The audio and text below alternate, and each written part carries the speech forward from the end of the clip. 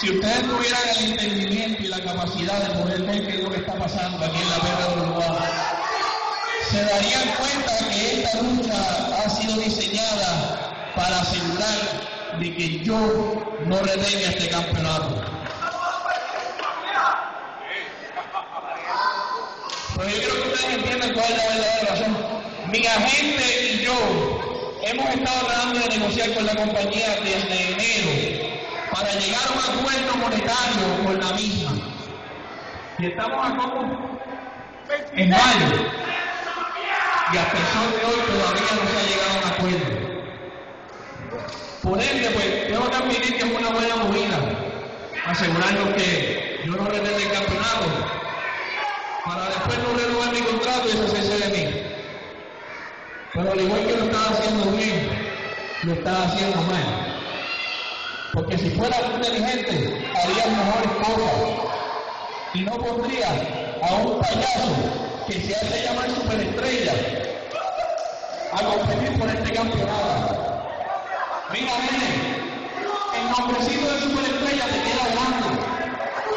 Cuando tú puedas decir que luchaste en frente de 20, 30 mil personas, entonces tú hablas de superestrella. Mientras tanto, ¡Ah! ¡Ah! para los que verdaderamente lo son. ¡Ah! Ahora bien, Mira, pero dile, dile, dile, que lo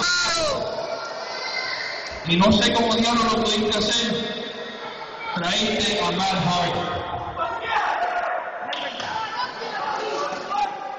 Eso sí te lo tengo que aplaudir. Porque por lo menos de los tres que vamos a tener en cuadrilátero, dos valen la pena. Este payaso, ni esta gente que está aquí, y mucho menos tú, valen la pena. Así que esta.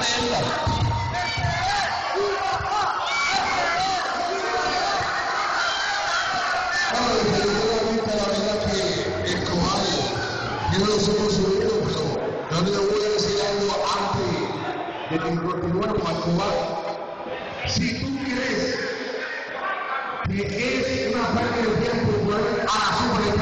En este encuentro, quiere decir que tú le tienes miedo o sabes que él es mejor que tú. Obviamente, si tú no tuvieras miedo como lo estás expresando públicamente aquí, nadie sabría que tú le tienes miedo a Ash. Porque si no le tienes miedo a Ash, ¿cuál es tu actitud? De no estar de acuerdo que Ash sea el tercer hombre en ese ring. Esto es sencillo.